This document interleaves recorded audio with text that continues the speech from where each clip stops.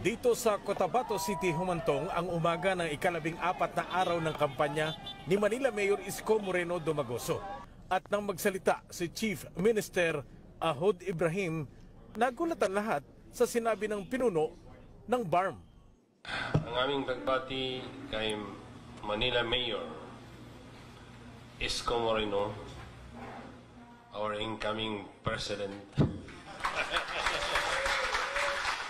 A few moments later. Nananawagan po kami sa inyong lahat na mga bangsamoro na suportahan natin at iboto si Leni Robredo sa pagkapangulo at iluklok siya sa Malacanang bilang presidente ng Pilipinas.